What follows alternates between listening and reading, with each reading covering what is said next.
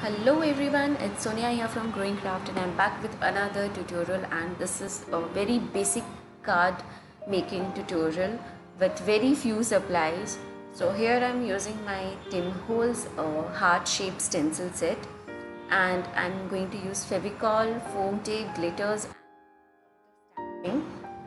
so it's actually not a card, it's a very small tag which I'm making and this was a long pending from my uh, list which I had to do.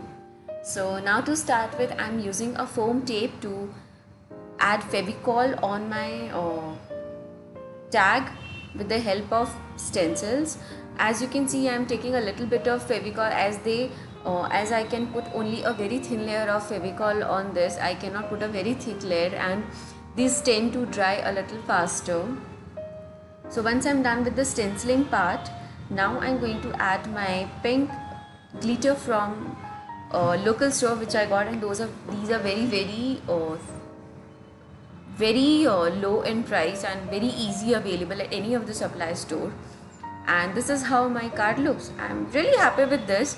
The best part is it has some 3d effect and fevicol when it dries out it's transparent so nothing like it one of the reasons uh, why I love this technique is this is very pocket friendly.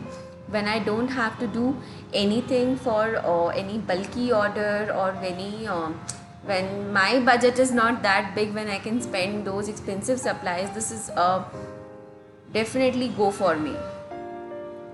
So now on the sides I am going to do the stamping work so when I was doing the stamping, I did not realize but my ink pad was drying a little and somehow I could not get the good stamped image. So what I have done is uh, I have stamped the same image on a, another cardstock and I'm going to stick that with 3D foam tape and my tag is ready.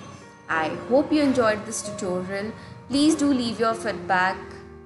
If you have any query, feel free to comment below. Thank you.